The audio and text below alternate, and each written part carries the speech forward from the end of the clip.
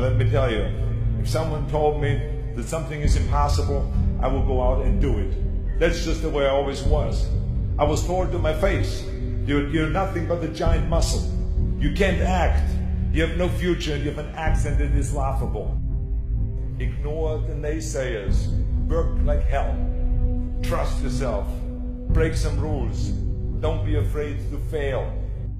I've made a fortune in several careers and I've been very successful in several careers by believing in myself. Let me tell you, you're going to find the naysayers in every turn that you make. Don't listen. Just visualize your goal, know exactly where you want to go. Trust yourself.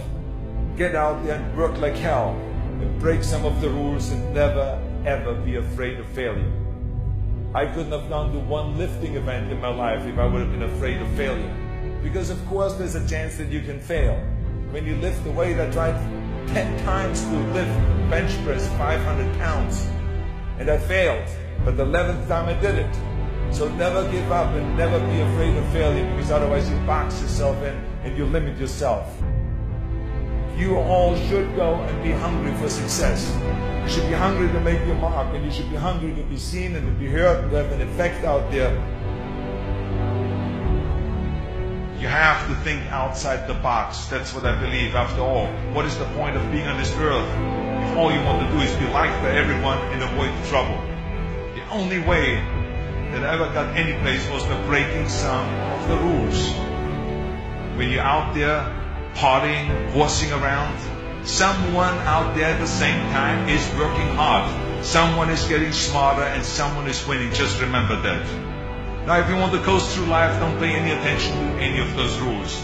But if you want to win, there's absolutely no way around hard, hard work. Don't be afraid to fail. Anything I've ever attempted, I was always willing to fail. You can't always win, but don't be afraid of making decisions. You can't be paralyzed by fear of failure or you will never push yourself. You keep pushing because you believe in yourself and in your vision. And you know that it is the right thing to do and success will come. So don't be afraid to fail. Don't listen to the naysayers. I mean, how many times have you heard that you can't do this you can't do that and it has never been done before? I hear this all the time. As a matter of fact, I love it when someone says, no one has ever done this before because then when I do it, that means that I'm the first one that has done it. So pay no attention to the people that say it can't be done.